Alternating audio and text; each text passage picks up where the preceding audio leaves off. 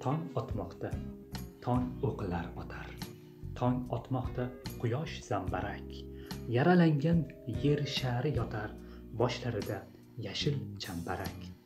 Tong otmoqda musaffo tongga yuragini tutar odamlar shu tong uchun kelgan jahonga shu tong deya o'tar odamlar.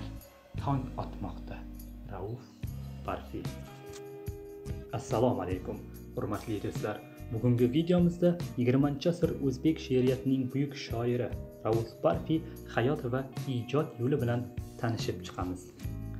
Rauf parfi 1943 yil 27 sentyabrda toshkent viloyati yangiyo'l tumanidagi sho'ralisoy qishlog'ida tug'ildi.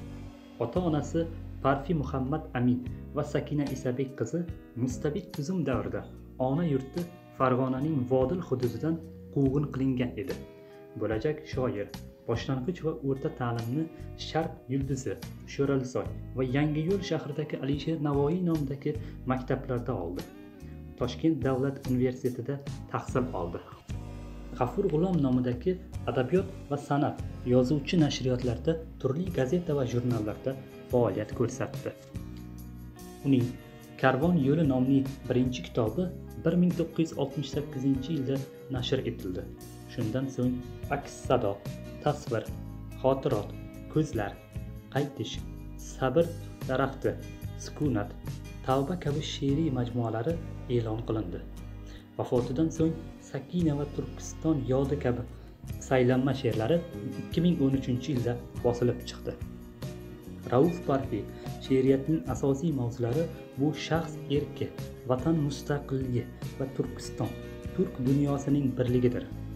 Bu she'riyat 20 asr shaxs shuurini keskin fojialar dramatizmini ifodalashga jazm etgan jasoratli she'riyatdir.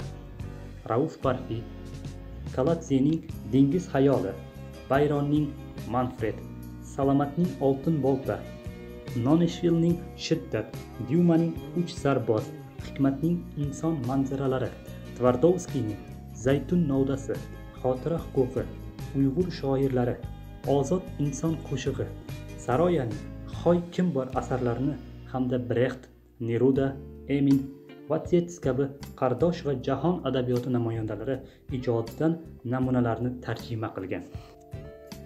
Rauf parfiga sabr daraxti to'plamidan o'zbekiston yozuvchilar uyushmasining hamid olimjon yillik mukofoti berildi. 1992 yilda xalqaro mahmud qoshqariy mukofoti bilan taqdirlandi. 1993 yilda turkiyada davlat vaqfi tomonidan o'tkazilgan turkiy zamon shoirlar tanlovida g'olib bo'ldi. Rauf parfi she'riyatimiz rivojiga qo'shgan hissasi uchun 1999 yilda o'zbekiston xalq shoiri unvoni bilan taqdirlangan. Shu tariqa 20 asr o'zbek she'riyatining buyuk shoiri rauf parfi hayot va ijod yo'li haqida tayyorlagan videomiz o'z nihoyasiga yetdi. Video yoqqan bo'lsa layk bosishni va kanalga obuna bo'lishni unutmang. Biz sizni xursand qilishda davom etamiz.